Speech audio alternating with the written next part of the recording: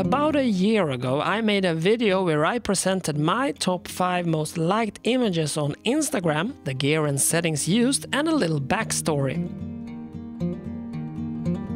What we then learned from it was three things. Firstly, the camera doesn't matter. Price, technology, sensor size, etc., it simply doesn't matter. Secondly, you don't need to plan ahead, use a studio or go on expensive trips to capture images that people will appreciate. Any time or place will do. All the images on that list were simply captured on my way to and from work. And thirdly, likes doesn't necessarily mean that it's a great image. And in the same way, not getting likes doesn't mean that you didn't capture something special. So keep going as long as you enjoy it. Fast forward one year, I have since added over 10,000 new followers, which by itself means a higher average of likes. And just like last time, all the cameras have been reviewed on my channel, links are in the description. On fifth place at the time of recording, we find an image titled Going Against the Current. It is captured just a few weeks ago with an old and very cheap Pentax MX1 compact camera. It's during a funeral I attended and perfectly illustrates the old saying that the best camera is the one you have with you. Because my big SLR was left in the car on the parking lot.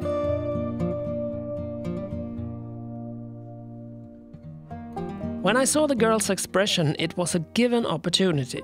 I put the camera in program and exposed down a tad with the exposure compensation.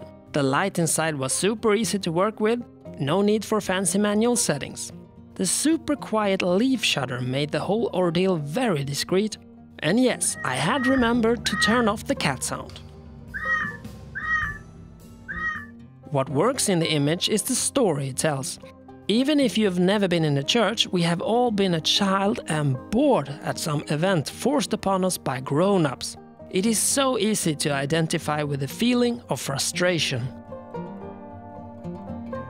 Fourth is an old image originally captured in November 2016 that I did a throwback to in late 2018. It's an underpass in Amsterdam right next to the train station.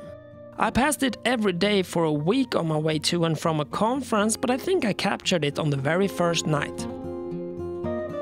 The camera was the Fuji X70, a really nice little street performer.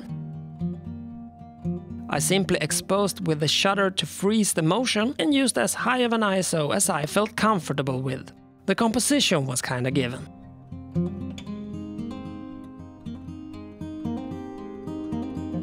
On third, we have a landscape.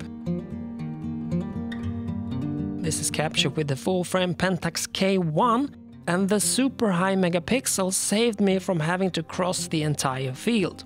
I shot it with the intention of cropping. The lens was the cheap 50mm f1.4. The key here is seizing the moment. It is minus 20 degrees Celsius, I'm on my way to work and have regular shoes and jeans on, but when I see the sun going through the trees, I just had to do it. I stopped on a somewhat trafficked road, hazard lights on, and started walking. Filled my shoes with snow, almost froze my hands off, but it was worth it.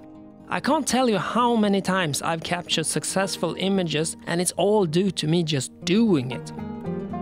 Rain, snow, fatigue, etc., and so forth, there are always a thousand reasons not to take a photo. My tip is to learn to ignore them. The saying go out and shoot when no one else is is something I tell myself all the time. On second place, we see the principle in effect again.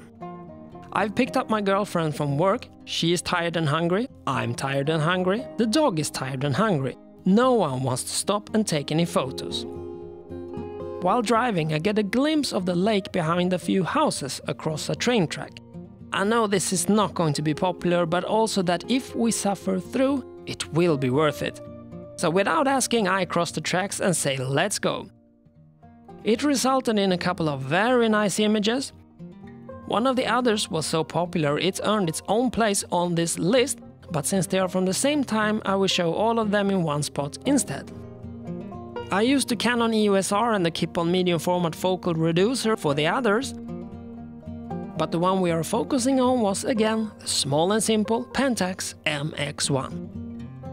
I shot it in manual, felt easy enough given the smooth light. Unfortunately the pier was too tall to make this a flipped image, the horizon would have been totally off. But nevertheless I got a nice composition. What makes this image works is partly the minimalism, which is very trendy now, but also that you can appreciate it from a quick look or stare at it for a while to really work out what it is exactly you're seeing. Before we look at the number one, I will add that during the making of this video, this image captured with the Ricoh GR Mark III took off and would have landed it at least a fourth place on this list. But given that gunpowder is the subject of the number one image and by a huge margin, I will let it slide. On first place we find Gunpowder the Dog by a lake and it has accumulated 3051 likes so far. This is captured on one of our daily walk routes. It's obviously a staged portrait that I planned to capture when heading out. I used the Fuji X-T2 and the 23mm f2. I shot it at f2 to get shallow depth of field, shutter speed 1 over 2000 of a second to preserve the sunset and the sky, and then I used a flash to light turn. Why the image works doesn't require any deeper analysis. Cute dog, summer landscape, sunset, some bokeh and a nice exposure. So that's the new list. Any new conclusions to be drawn? Well, first of all, it proves and strengthens last year's theory about gear. There simply isn't any correlation between gear, sensor size, lenses etc. and people liking your images. Secondly, it strengthens the advice of shooting wherever and whenever you can, and not just wait around for a trip or vacation. And also that you should stop trying to find reasons not to take an image. Thirdly, don't be afraid to branch out of your comfort zone. On last year's list, it was only street photography. And one might be tempted to stay within the genre that gave some likes or moderate success, but during the year I have shot a lot of landscapes, cows and horses instead. And the account is still growing. I firmly believe that shooting what you enjoy for the moment is what's important, and the enthusiasm will shine through the images to the viewer. It will also help you grow as a photographer across all genres. That's it for this time. Subscribe for upcoming videos and follow me on Instagram for new pictures every day. Until next time, goodbye.